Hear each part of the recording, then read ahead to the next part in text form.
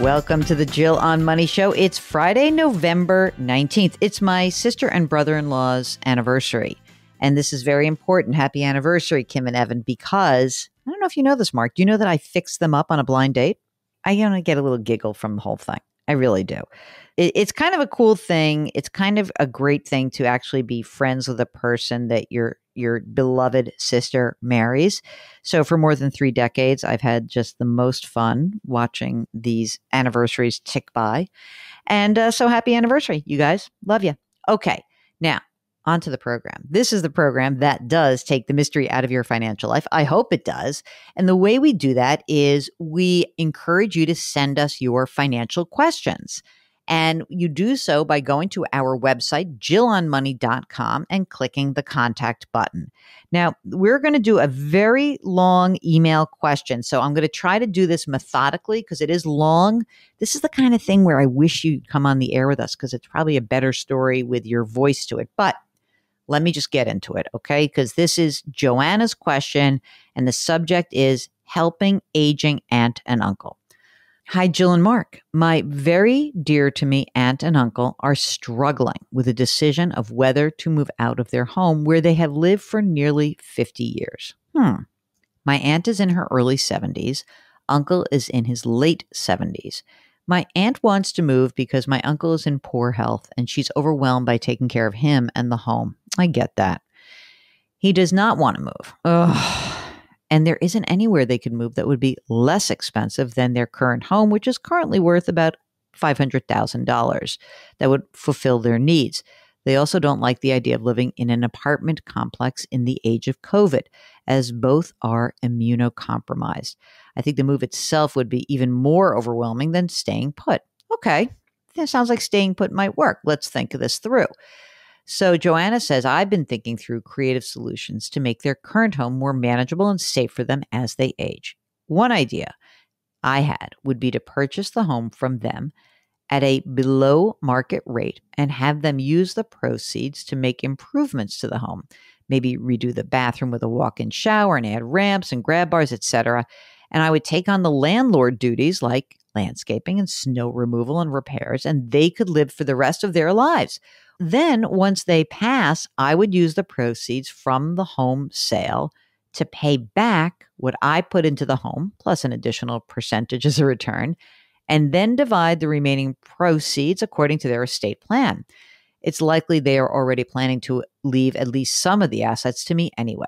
So she says she wants to purchase it in the range of $50,000 by taking out a mortgage, which would be enough to make the improvements. Here are our stats. She's 32, the husband's 33. They're attorneys. They, let's see. Oh, they make a lot of money. So she makes 275 with a $65,000 bonus. Husband makes 80. I like my job and plan to stay at the firm for at least 3 to 4 more years and we'll have lockstep pay increases as well as increasing year-end bonuses. My husband's in a different, less lucrative field of law, but will presumably make more each year. He is first year associate and she's a fourth year. She doesn't really see them making less than 350 grand a year combined over the next 15 years. Ay, ay, ay. This is getting complicated, Mark. She's got 80 grand in law school loans. She's paused paying on them. She'll throw a big chunk of her bonus towards the principal. We bought a house last year for $600,000. Estimated value is now 725. They've got $469,000 remaining on the mortgage, a 30 year, 2.65% interest loan. They've got a 18 month year old. They've got four grand in her 529 plan. Um, and they're going to put $1,000 a month into the 529. They've got rainy day savings, 25,000. That's too low already. I can tell you that's too low. They max their 401ks and traditional IRAs. They've got 92,000 in the 401k, hers 17.5 in the husband's 401k, about 45 grand in a Roth and 68 in a rollover, 17 grand in traditional IRAs. They've got $11,000 in an investment account. They've got life insurance, wills, estate plan in the works. Once my husband starts taking a paycheck next year, we will have approximately $20,000 a month in income and $11,000 a month in expenses time horizon, they plan to renovate their kitchen in the next three to four years, and they think that's going to cost about 150 grand. You ready for these questions, Mark? Number one Is my plan with respect to my aunt and uncle's house crazy? Yes. But I'm not going to say crazy bad. It's just it's it's not the most efficient way to get the job done. Are we even in a position to offer this assuming they would go for it? Probably not. Is there a less complicated way to achieve the same goal? Yes. Here's what I think. I think that a reverse mortgage is what you do. She says she doesn't think they would accept help outright. But what I do think is that what you could try to do is offer them help in managing it. And since you're both attorneys, what I would say is you're precisely the kinds of people who could help understand a reverse mortgage and work with someone who could maybe kind of wind through the process of what that reverse mortgage would mean. Um, and so essentially, reverse mortgages are available for people over the age of 60 where they can extract the equity from their home in reverse, right? They take the money out. And if you were able to really go through this kind of a contract and, and work with someone who can help you out, someone who's done this before, then I think that's the easiest game plan. I think you buying it from them for below market is not a great idea. I just don't. First of all, there's this weird tax implication about that.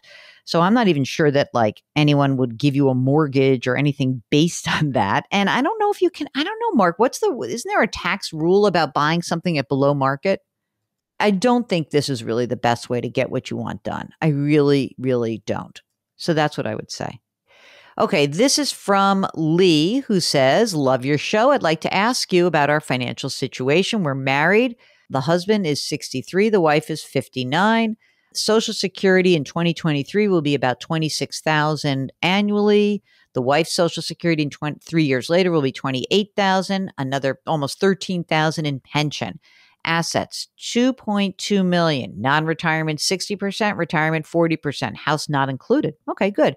Annual expenses, 102,000. They retired six months ago. Well, since you're already retired, what are you asking me for, right? Decision made. So let's see what we got here, Mark. Let's just do a do some maths, as they say in England. So what do we got? We got they got 26 in Social Security, another 28 in Social Security, and another 13 in pension. So they are about two thirds of the way there in terms of their expenses. So they need to come up with 45 grand a year from a $2.2 million portfolio. What do you think, Mark? Doable, not great. I don't love it. Exactly. Here's the problem. That's exactly the point. So Mark says the social security is not kicking in. So here's what happens. You do have 2.2 million, which is great. However, you have a ways to go. You're going to have to deplete some of the non retirement assets or some of the retirement if you want. That means that you're not going to, ha- you don't have $2.2 million. You have less than $2.2 million. Is there some part time income potentially? Are there other assets you're not telling us about? Is there some other idea here? It's tight. It's doable. It's not great. That's what I would say. Follow up with us if you need more help. Okay. Guys, I know what you're thinking. $2 million is a lot of money. It is. They're young. This is 60 year old, right? You could live for 35 years. It is a long retirement that we are trying to fund, and you are counting on returns from your investments to be like they were in the last 20 years, and they may not be that good. So you really have to factor that in. All right. Margaret writes I am 66 years old, divorced. I own my own home and car with no mortgage, no car payments, no credit card debt. Good. I semi retired last year. I currently work part time. About uh, $8,000 a year is what she earns. She has a pension of $7,900 a year. A year or a month? You think it's a year? Okay. She's got a pension from uh, ex husband and Social Security.